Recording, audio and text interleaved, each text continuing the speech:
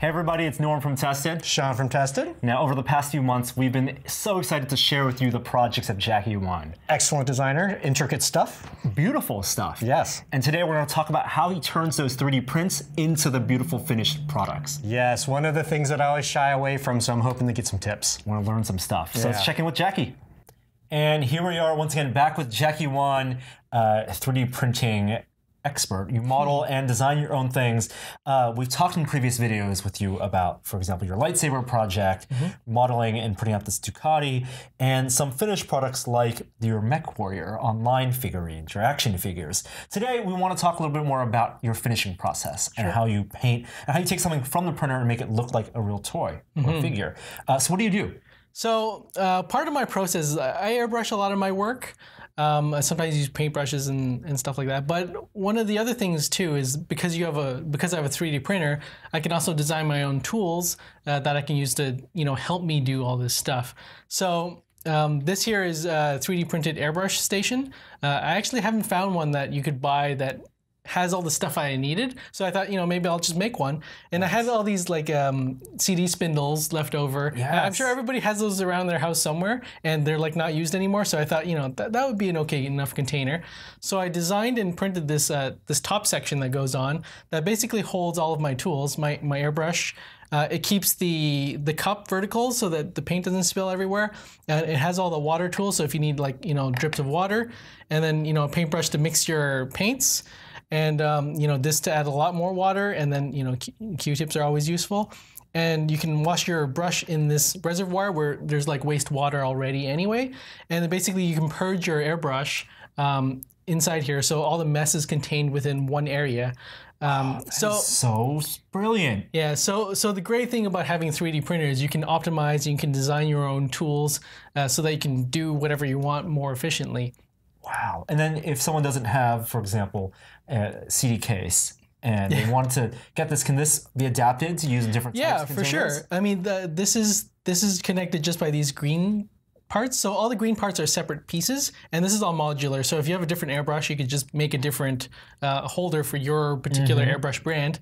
And then you know if you used a different cup or you know whatever container, you could just print a different adapter. Uh, that'll connect to your cup differently. Wow, it's a little airbrushing station. I imagine that could also apply to other tools aside from airbrushes. You could use it for all sorts of tools where you could use a little reservoir. Yeah, you, you could you could literally make anything that you need. So and this is just one example of you know what you could do. And, and the cool thing is you can do weird things. I had this idea of um, my airbrush purging would clean my brush at the same time. So that's why this brush is angled the way it is. So when you purge your airbrush, it'll actually spray the paint off the paintbrush as well. And you can do weird stuff like that. And, and this was kind of a trial for me. Like I, I needed an airbrush station, so I made one quickly, and then and then you sort of think about it a bit more and like how can this be more efficient? And then you can evolve your tools that way you know very organically and, and very functionally as well you know. People online have been like how do you get this airbrush station? I want one for myself. And you know you, you can just customize your own things and you can make it on the 3d printer Now, in past videos, when we look at your project, you talk about how a lot of that finishing actually happens before the print in your design. Yeah. How you split up the pieces, how you adapt model skins on top of the cores. For example, the Ducati bike, the red pieces are all they're separate from Yeah. the black pieces. Um, but you can also create things after the fact, other 3D printed pieces to assist, right? Yeah, so so that's what this is here. Um, so this is a this is a Canada ball. It's like a Poland ball, um, but it's for Canada. No idea what that is. Poland ball. Canada it's a, ball? so so Poland ball is a meme, um, okay. and, and each country has a ball, uh, and, and some are different shapes. So Canada Uh, but, ball. but right this is this is Canada ball, and, and because Ultimaker's come to Canada, uh, you know we're gonna have a shop. Mm-hmm. So so I made a Canada ball, and you know I thought if I had to make a lot of these for promo purposes, you know painting these things would take forever. So I thought you know what better way to uh, you know do this is to create a mask in which I could reuse. Basically masking. Uh, okay, so this is red and this is white. So you want to mask off all the white parts so that you can just airbrush the red parts really quickly. Now traditionally you would have to cut out like you would do masking tape and, then you would have to cut it out with an X-Acto knife, Yes. and uh, that would take a very long time. If you, even if you had to make like ten of these, so you know, and, and because it's a 3D shape, you can't just you know use traditional methods. So I thought maybe I can 3D print a mask. So that's what I made this one for. So, so this is a, a 3D printed airbrush mask. Basically, um, you take a white one, and then you place it in here, and then this other part goes on, and then you just line up the maple leaf. And then you put these pins in, and these pins go all the way through, so it, it tightens the whole seam. And that's a perfect mask. Yeah, and so all, the- all and, and there's a handle that I made as well, so I don't have to get my hands all dirty.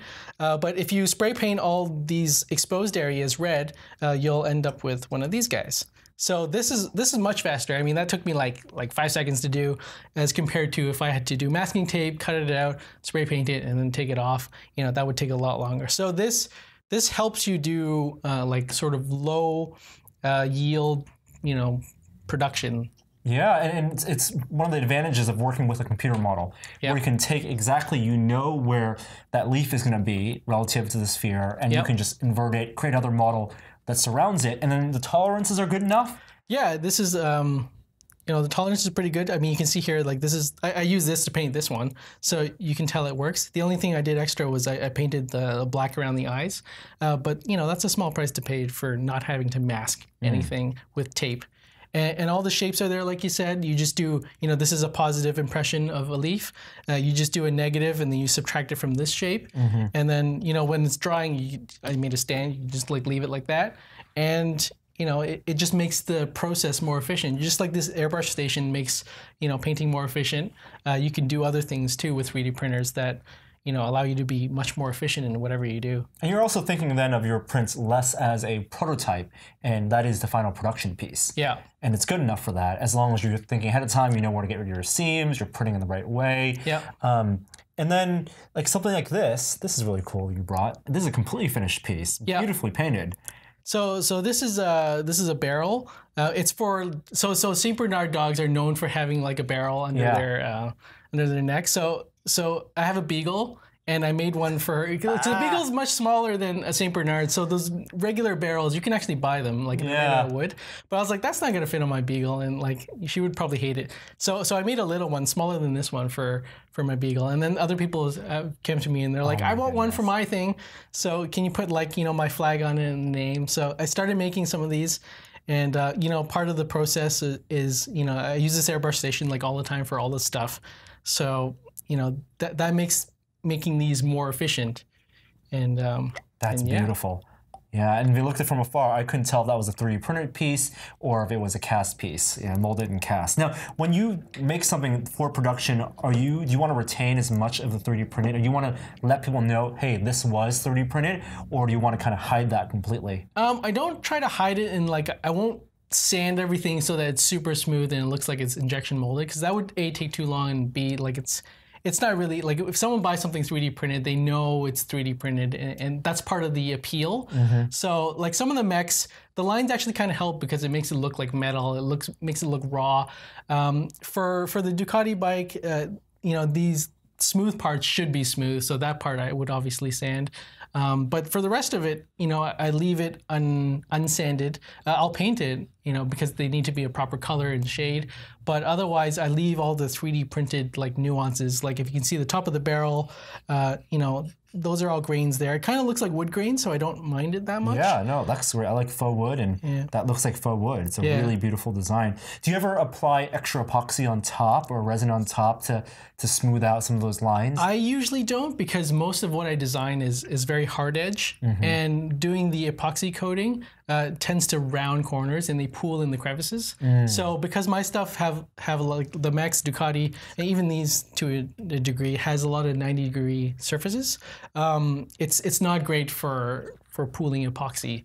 Uh, it'll smooth it out, but I think if you print in a good enough resolution and you print in the right direction, uh, I mean, you'll get results like this and you know this is this is no sanding at all. It's just primer and paint.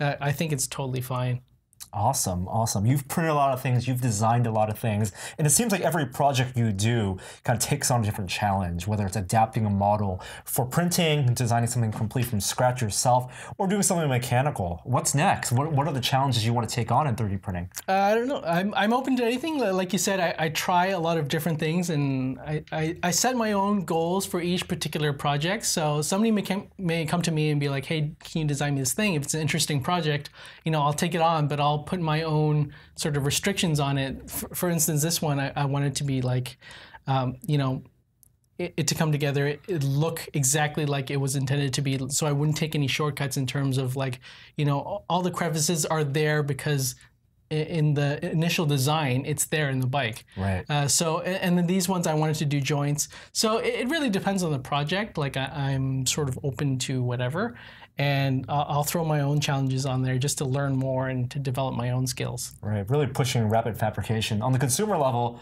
to yeah. its limits. I love that. So thank you so much, Jacky, for coming all these weeks and showing us all your projects. Yeah. So many of these files are available online for people to download if they have their own 3D printers, yeah. and they can follow you on your website and for future projects. Yep. Yeah. Thank you so much. It's been a pleasure having you here. Thank you. And we'll see you guys next time with more 3D printed projects on. Until then, see you next time.